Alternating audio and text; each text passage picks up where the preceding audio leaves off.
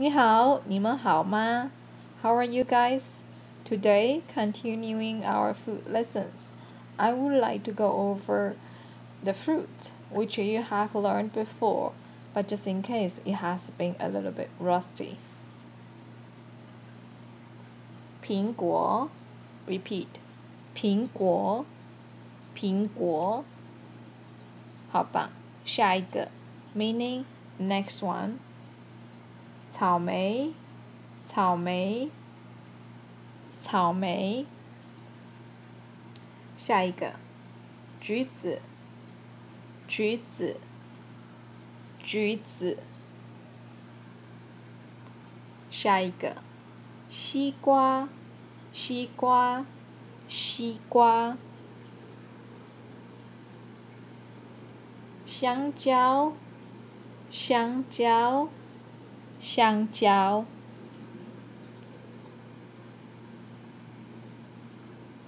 梨子，梨子，梨子，好棒。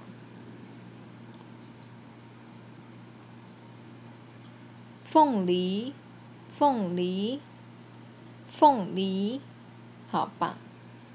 下一个，葡萄，葡萄，葡萄。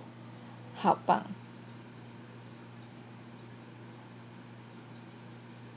Last but not least，桃子，桃子，桃子，好棒！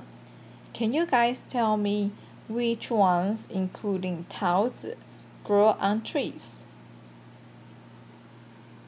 凤梨、梨子、香蕉、橘子。 和苹果. All these circled fruit grow on trees, so they all have mu. This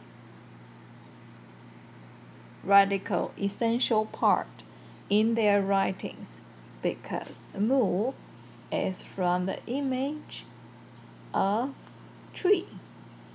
So mu means tree. Mu is an essential part. We call that radical. Do you remember that? Now, I would like to I would like you to circle mu on your worksheet. Find mu.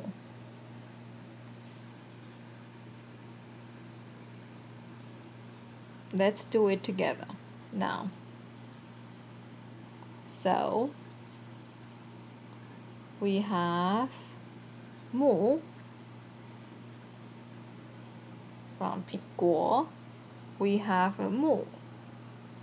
橘 on 橘，we have sort of mu.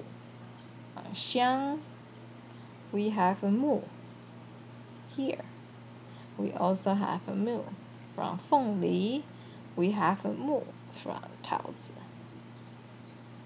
Is that does that not make sense? Very good. Now, I would like to ask the rest. So the rest of them don't grow on trees, which means they are close to grass. Let's find the grass. So grass is the essential part radical. This is called 草. It was from 草 like this before.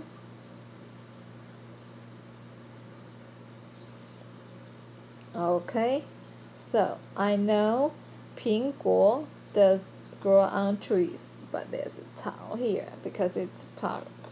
plant. Now 草莓, they both have this essential part for both characters. And many of you, especially girls, names, your Chinese names have this 草 radical. Remember that? And then this also has a 草 in it. 葡萄, although 葡萄 grow on vines, but there's also 草 in it. Very good. Now, you can start working on your worksheet stroke order. I'll talk to you soon. 再见。